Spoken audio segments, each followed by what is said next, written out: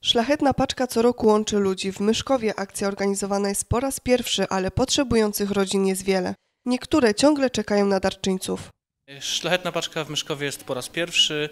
Włączonych do projektu jest y, 57 rodzin z rejonu Myszkowa i Żarek, w tym 46 właśnie z Myszkowa, 11 z Żarek. Obecnie mamy 51 darczyńców, czekamy jeszcze na 6.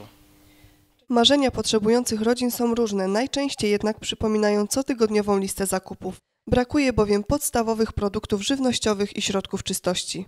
Potrzebują żywności, środków czystości.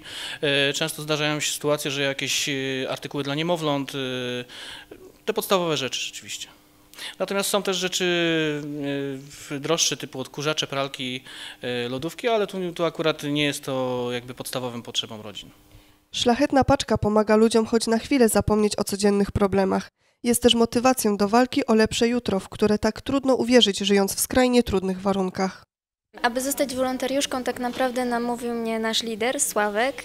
E, I początkowo to był taki pomysł, który podobał mi się, ale chyba nie do końca. Dopiero tak naprawdę, kiedy przeszliśmy szkolenie i zobaczyliśmy, komu pomagamy, e, to wtedy tak naprawdę narodziło się to ważne uczucie, że jednak jesteśmy komuś potrzebni.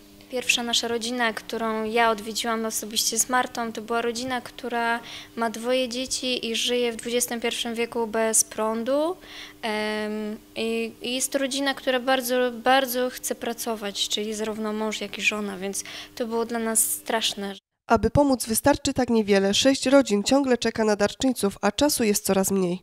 Darczyńca powinien wejść na stronę y, www.szlachetnapaczka.pl y, i tam już poprowadzi Wybieram rodzinę, y, województwo śląskie, rejon Myszków. Do 8 grudnia mamy czas, żeby zgłaszać się do, jako darczyńcy, w tym, że 8 to już jest ostatni dzień, więc kończymy o godzinie 18 y, rozwożenie darów dla rodzin.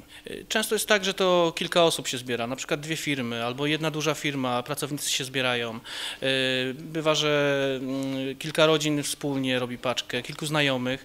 Odbywa się to właśnie wspólnie, wspólnymi siłami, żeby dać radę. Można też również e, przyjechać do nas do magazynu do Myszkowa, ulica Sikorskiego, pizzeria Capri i przywieźć nam jakieś produkty żywnościowe, czystości, y, kurtki, jakieś, jakaś odzież, obuwie. Wolontariusze nie tylko chcą dawać prezenty, ale przede wszystkim chcą odbudować w potrzebujących wiarę w dobrych ludzi i w to, że mają wsparcie walcząc z problemami. Katarzyna Całka, ITV Region. Wiwat szlachetna paczka myszków! Wiwat!